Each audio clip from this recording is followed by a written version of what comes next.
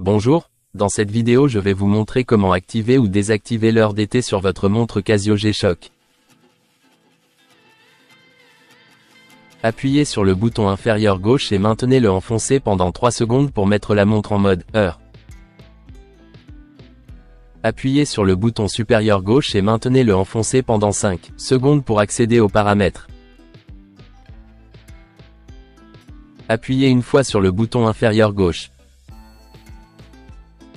Maintenant, utilisez le bouton inférieur droit pour activer ou désactiver l'heure d'été en fonction de votre pays. Pour la plupart des pays européens où l'heure d'été est observée, vous devez activer l'heure d'été le dernier dimanche de mars et la désactiver le dernier dimanche d'octobre. Si vous êtes aux États-Unis, vous devez activer l'heure d'été le deuxième dimanche de mars, jusqu'au premier dimanche de novembre. Comme vous pouvez le voir, lorsque l'heure d'été est activée, l'heure de la montre avance d'une heure.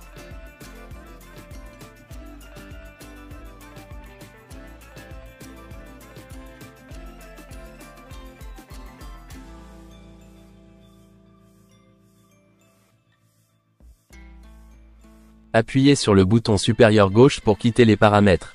Merci d'avoir regardé cette vidéo et abonnez-vous à ma chaîne.